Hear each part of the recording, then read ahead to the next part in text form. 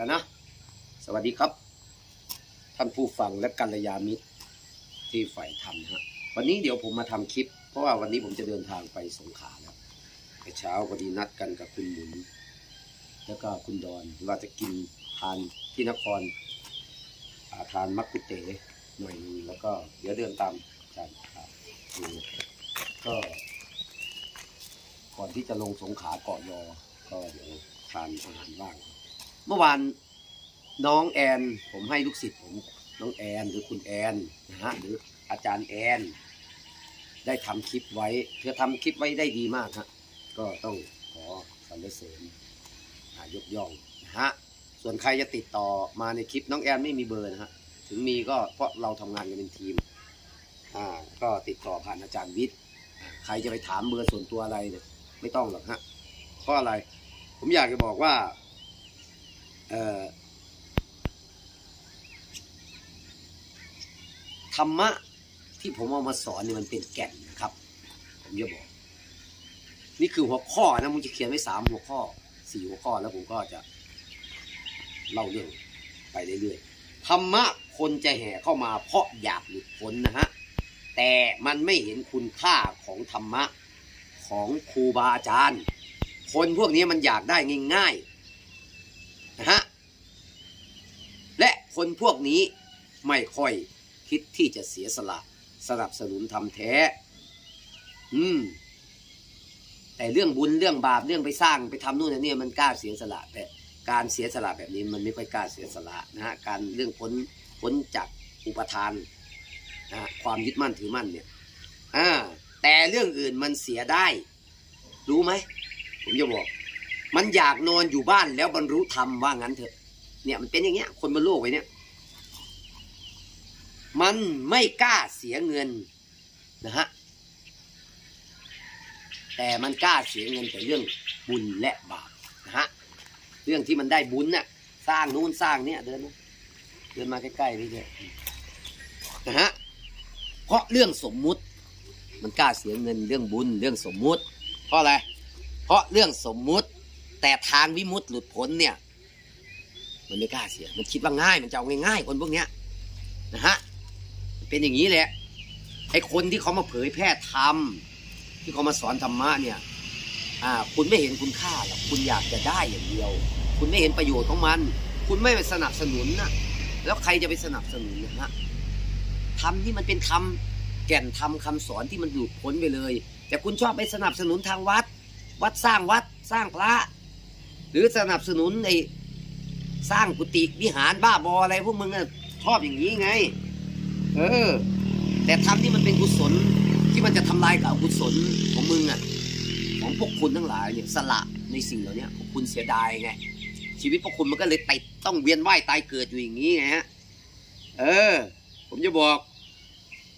โอเค หัวข้อต่อไปคนน่ะมันติดหลงอยู่ในสัญญา จึงหลงเข้าไปในสังขารอีก ทีนี้จิตมโนวิญญาณเกิดทันทีมีเราทันที สัญญาไหลออกมาเป็นขบวน รู้ไปหมด รู้ครอบโลกธาตุไอ้พวกมึงอะรู้ไปเสียทุกอย่างเก่งด้วยไอ้พวกเนี้ย บางคนอะมันอยากจะสอน อยากจะสอนธรรมะคน เก่งไงตัวรู้มันเก่งไงบางคนไม่คิดจะสอนนะฮะอยากจะหลุดพ้นนี่แหละ ก็มีมันมีคนหลายประเภทนะฮะหลงอยากจะหลุดพ้น บางคนไม่คิดจะสอนแต่หลงว่ามีเรา เพราะสัญญามโนไม่ดับนี่นะฮะไอตัวสัญญา อันดับแรกต้องดับสัญญาความหลงก่อนนะฮะมันถึงจะถอนสัญญาสังถอนสังขารวิญญาณ จิตมโนวิญญาณถึงจะดับไปนะฮะมันต้องเกิดปัญญาอย่างเดียวนะครับไม่ใช่การมึงพวกมึงไปปฏิบัติไปฝึกสติฝึกสมาธิไปลูดเชือก ไปกระทืบเท้าไปพุทโธไปย่างหนอเออหรือไปดูลมหายใจ รือไปทำสมาธิหรือไปเดินจงกรมแม่งหลงหมดเลย เอาตัวตนไปเป็นหมดเลยนะครับ ผมจะบอก บางคนไม่คิดจะสอนแต่หลงว่ามีเราเพราะสัญญามโนไม่ดับ จิตตะสังขารจิตตะวิญญาณยังมีที่เกิดอยู่ธรรมะแท้จริงแล้วมันไม่รู้อะไรเลยนะครับอ่าแค่รู้ว่าคุณยังไม่ตาย มันหายใจอยู่ มันรู้มันก็รู้สึกของมันอยู่อย่างนั้นอย่างนั้นน่ะ สติก็มีอยู่นั่นแหละ มันไม่ใช่คนบ้ามันถึงรู้ได้ แต่คนตายมันไม่รู้หรอก แล้วอย่าน้อยใจอย่าคิดว่าตัวเองไม่มีสติ เพราะคุณไปเจอของปลอม สติมันมีอยู่กับคุณ อยู่การรู้ตัวคนเรามันรู้ตัวอยู่แล้ว สติมันมีอยู่แล้ว แต่พวกคุณไม่ถูกสอนมาแบบนี้ให้ให้เป็นสัมมาทิฏฐิไง ให้รู้ถูกไง มันไปสอนกันเอาตัวตนไปทำคิดไปปรุงแต่งไป ไปปฏิบัติไปจับเชือก ไปกระทืบเท้า ไปเดินจงกรมไปพุทโธ ไปดูลมหายใจเพื่อจะ จับไอตัวจิตมโนวิญญาณน่ะขังมันไว้ ให้รู้อยู่อย่างนั้นน่ะ เพื่อจะเก่งคนพวกเนี้ยมันเลยเก่งอยู่อย่างนั้นแหละ มันเลยไม่รู้อะไรเลยเลยโง่เขาเออแล้วก็หลงไหลในการปฏิบัติ เชื่อว่าเป็นจริง ๆ ผมจะบอก เนี่ยมันเป็นกันอย่างเงี้ย และอีกอย่างหนึ่งหัวข้อสุดท้ายนะครับ ผมจะบอก สิ่งที่นักปฏิบัติ หรือไอ้พวกเรียนตำราหรือเก่งๆเนี่ยไอ้ตัวเก่งของมันอะ สิ่งผมจะบอกว่าไอสิ่งที่มันเข้าใจน่ะมันหลงหมดเลยนะฮะมันเป็นตัวรู้กับตัวคิดไม่ใช่ปัญญาที่แท้จริงนะฮะความจริงไม่มีอะไร ไม่รู้อะไร ไม่จำอะไร ไม่คิดอะไร ปัญญาแท้จริงคือตรงนี้นะต้องเข้าใจให้ได้นะถ้าเข้าใจไม่ได้เนี่ย ต้องมาหาอาจารย์วิทย์เดี๋ยวก็แทกให้ดูทำไมมันมีเราอยู่ตลอด อืมมันต้องเจาะเข้าไปถึงเรื่องลึกภายในฮะ ก็มันไม่มีเรา เนี่ยมันมีไหมล่ะ มันมีแค่เห็นใช่ไหม มันมีตอนไหนนะกระบวนการปรุงแต่งมันเกิดขึ้นมาแล้ว คุณคิดว่าอะไรแค่นั้นเอง คุณจะคิดอะไรก็ได้ อย่าห้ามมัน นั่นแหละ ต้องเห็นมันเกิดและดับนะฮะอันนี้ นั่นแหละ ผมจะบอกว่าธรรมะนี่มันเป็นเรื่องละเอียดอ่อนแท้จริงมันไม่มีอะไรหรอกครับคุณไม่เข้าใจเรื่องสัญญาสังขารและวิญญาณ พวกนี้มันเป็นไตรลักษณ์มันเกิดดับมันไม่เที่ยง มันไม่ได้มีเราธรรมะจริง ๆ แล้วมันก็รู้อะไรก็ไม่รู้นะฮะมันไม่จำไม่คิดไม่จำนะฮะที่ตรงนั้นน่ะพระเจ้าบอกว่า มันไม่คิดไม่จำนะฮะไม่รู้อะไรเลย แต่มันรู้ทุกอย่างงงไหมแล้วมันไม่เคยห้ามอะไรสักอย่างเลย